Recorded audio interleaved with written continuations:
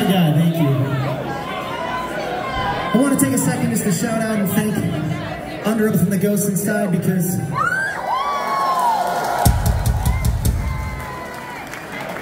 my feelings towards these bands go way back, I'm sure.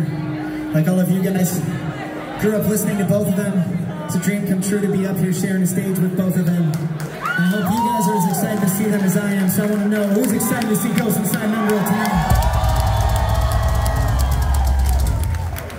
Hell yes. Thank you guys once again for being here. We are We Came as Romans. We got one song left. Enjoy the rest of your night. Have fun. Take care of each other and enjoy every second you're in this building, okay? This last one's called Black Hole.